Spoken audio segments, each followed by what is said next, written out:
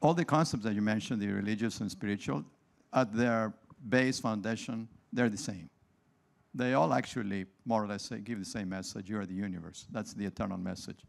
It's just that we have different languages, different traditions, and then we get confused by the wars, by, by the languages and the traditions, and then we become enemies of each other. But really, the message of all true spirituality is that we're all one. This is the essential religious experience.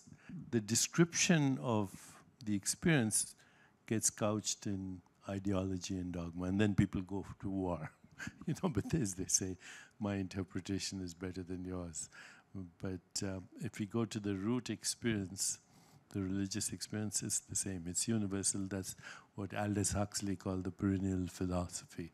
And that uh, um, is not only found in the sages of the Upanishads, it's found in Christian theology, in uh, Sufism, in Islam, in Buddhism, everywhere, Judaism.